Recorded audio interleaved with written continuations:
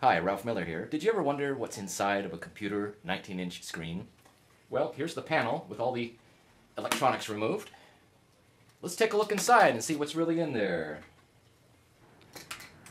Alright, we have to bend back these metal retainers here all the way around. Alright, let's pull this ring off of here. There. One step closer. Looks like there's another layer that has to come off. Okay, let's see what we have now. Ah. This front panel comes off. That's the liquid crystal unit.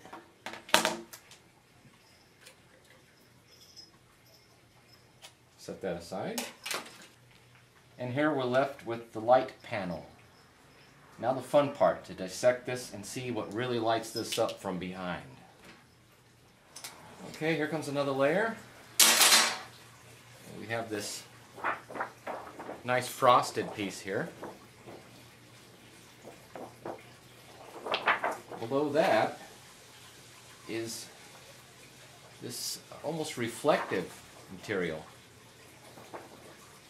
Almost like aluminum. Looks like it's made out of mylar. It's semi-transparent.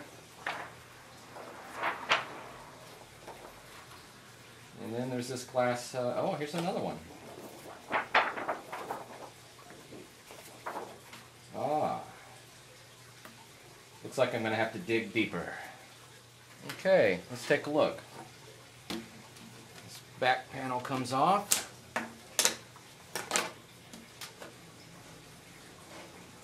And that reveals a very thick piece of plexiglass.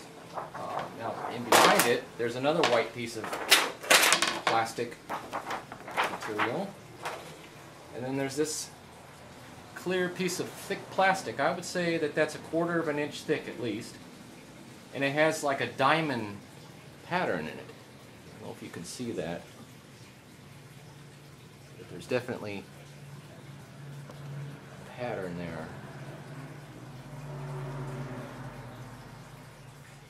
And I always thought there was a big fluorescent tube behind here.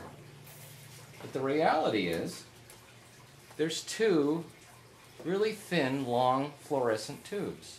One on the bottom, and one on the top. Down inside of these, these little trenches here, each of these tubes is wait a minute. It looks like there's two tubes. There's four tubes. Two next to each other here, two next to each other here. Well, here's a close-up of those tubes. You can see that.